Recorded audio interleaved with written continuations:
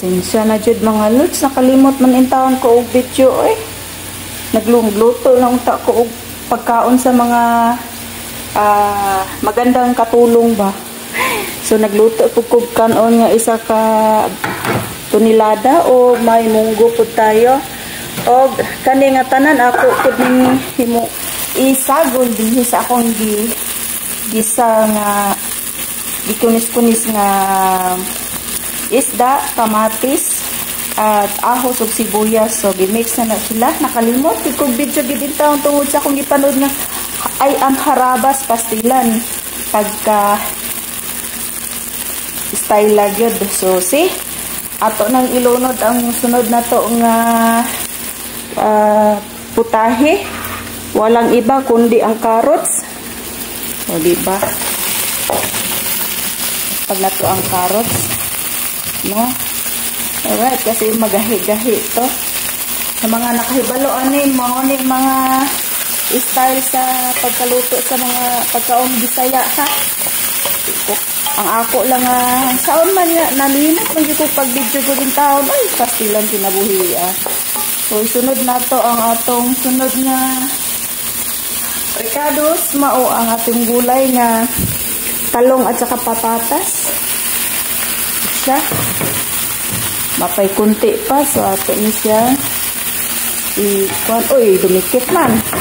Ato na lang kamaton o limpyo sa taon na itong kamot in taon po ha. Huwag ibas.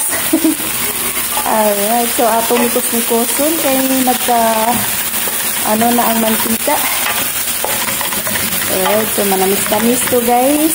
Hindi ko alam kung anong tawag sa inyo nito. Kung ganitong uh, uh, style Alright. So, isunod na to ang atong gulay nga.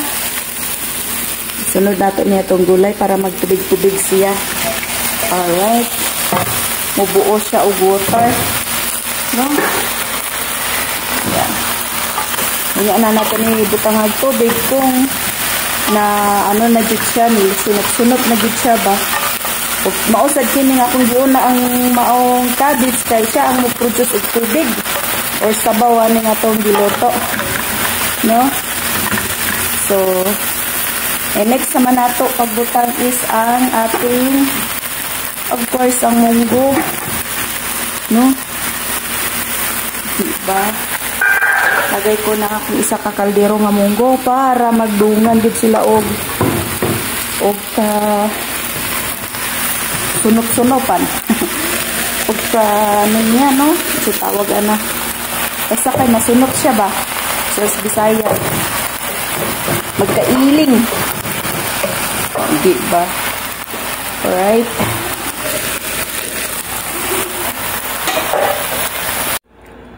So, yun na nga guys. Kanina hindi ko siya natuloy-tuloy kasi biglang lumating yung amo ko. So, inoff ko agad ang camera para hindi niya makita. So, ngayon, Uh, buksan na natin to at iyong na makita. Alright, diba ganito siya. Sobrang sarap na sarap na siya. Oh, lutong na lutong na siya. Oh, no. Munggo is life.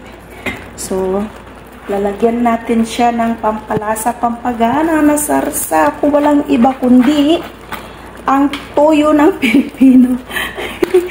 Alright, ang toyo ng mga Pilipino, yan ang pampalasa, pampagana ng ating mga pangluto, mga pagkain. Diba? Alright, so, kay, dinamihan ko na siya ng toyo kasi wala naman tayong panglaban na bitchin dito, no? So, may solve din tayo nito pag maas, maalat-alat siya. At hindi naman talaga maalat-alat yan kasi tuyo naman yan, di ba? Pagkatapos ng tuyo, lagyan din natin ng pangpanamis-tamis na sukal. O, siya. Matamis-tamis siya. O, di ba?